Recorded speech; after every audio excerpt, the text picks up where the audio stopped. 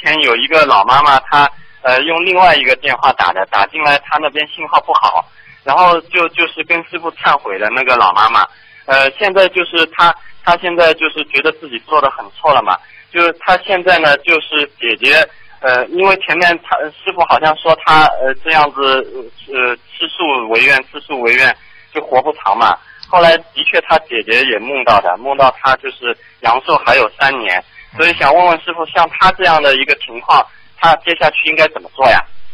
三年就是给他定数了，啊，定数三年，他因为一直违愿，好了，已经消掉他的很多的阳寿了，消掉他还有三年，像这种要延续阳寿，第一个自己对自己过去违愿要痛彻心扉的忏悔，就不停的念礼佛。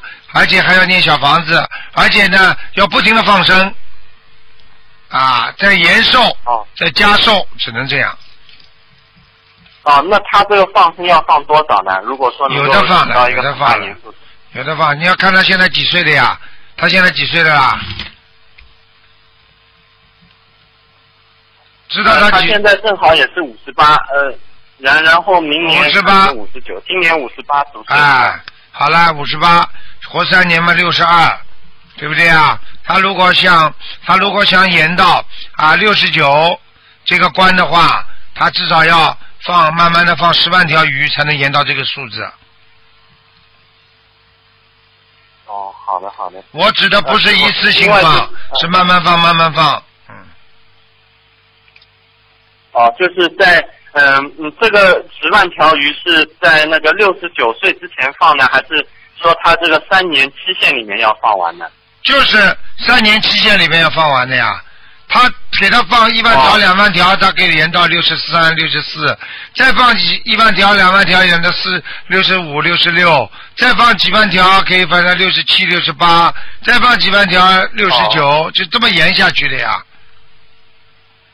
哦，好，好的，好的，感恩师傅。那另外的话，因为他现在就是这个腰很不好嘛，现在根本就。呃，起起不呃做做不了这个力气活，然后呢，他因为他家里呢有那个就是肾脏病的家族史，然后他现在呢晚上老是梦到他的一个亲戚在呃在梦里，然然后然后呢就是他最近又梦到了，梦到以后在呃这个这个同修呢在帮这个亡人按摩腰子，然后看到这个亡人腰子这边黑气很重的，然后就帮他按摩按摩，就他这个亡人就舒服点了。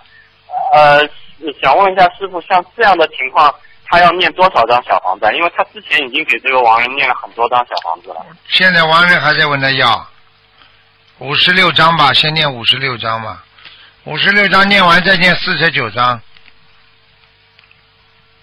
哦，好的，这就是针对于这个王人念的。然后，另外他关于就是吃素违愿的这个事情是另外的小房子，不算在里面的，对吗？对对对。